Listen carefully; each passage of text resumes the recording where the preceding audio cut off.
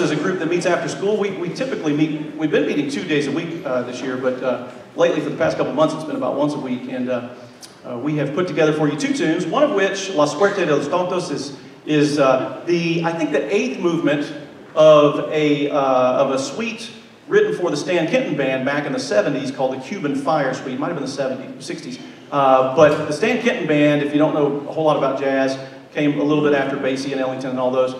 But when I was a kid, that's what really turned me on to jazz was the Stan Kenton Orchestra. And uh, so this tune is, is one of the movements out of that. It's a, it's a 6-8 Latin thing, which we were just playing a little bit of. I think you're going to like it. It's going to feature uh, Dalton Riggs on the alto sax.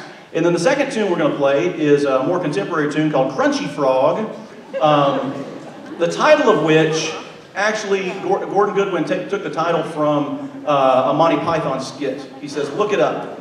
And uh, I didn't know the skit, but I looked it up, and it's pretty funny. So has something to do with chocolates. You may, you may know it. But anyway, uh, Crunchy Frog is basically just a funky rock tune. And that one's going to feature Ephraim Nunley on trombone, and uh, Balin Wilson on bari sax, and then Dalton again on alto saxophone. So we hope you enjoy the jazz band and our two tunes. Thank you.